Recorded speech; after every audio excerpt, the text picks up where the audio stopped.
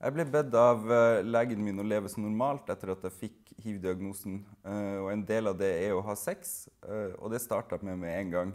Det tror jeg også var en viktig bit av det å normalisere hvordan det er å leve med hiv. Jeg heter Leif Ove, og jeg har levd med hiv i fem år. I dag så tar jeg en pille om dagen, føler meg frisk og har egentlig ingen store problemer med hiv. Du kommer til å møte en god del fordommer, iallfall når det kommer til at du skal dele det mest intime fysisk med noen. Eh, og mange kommer til å være redd, eh, og da har jeg alltid tenkt at da må jeg være den sterke, den trygge og den som skal forklare folk hva det her vil si. Eh, og når man forklarer til folk at eh, det er ikke så smittsomt som du tror, eh, og når jeg er på en vellykka behandling, så er jeg ikke smittsom overhodet, eh, så er det noen som tenker at ah, flott, du forteller meg det her. Eh, da gir jeg deg den tilliten tilbake. Eh, og når det skjer, så får du skikkelig godt ligg etterpå. Men iallfall så, så gjorde det uh, utrolig mye godt etterpå.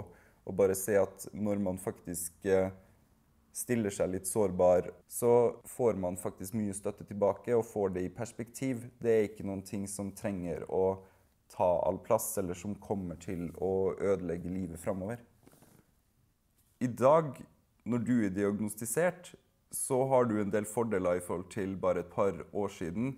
Du får tilbud om behandling med en gang. Du kommer til å være uten målbart virustall, eh, kanskje innenfor bare et par måneder. Og det vil gjøre at du vil være sikker på at du ikke kan smitte noen.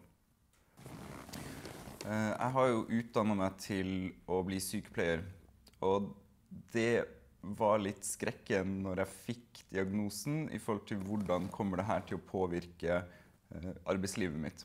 Eh, og da måtte jeg faktisk eh, spørre veilederen min, for vi var ute i, i praksis på en, en operasjonssengepost, om hva som var greit og ikke i forhold til f.eks. For medstudentene mine som ville prøve å stikke på meg.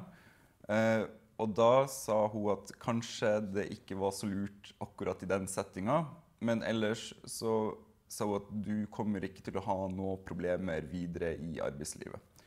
Men at det ikke kanskje er noen ting som, som jeg trenger at pasientene mine skal vite til daglig. Så liksom på jobb med arbeidskollegaer og en, en sjef som fungerer godt, så er det ikke noe problem å, å heller være åpen hiv-positiv.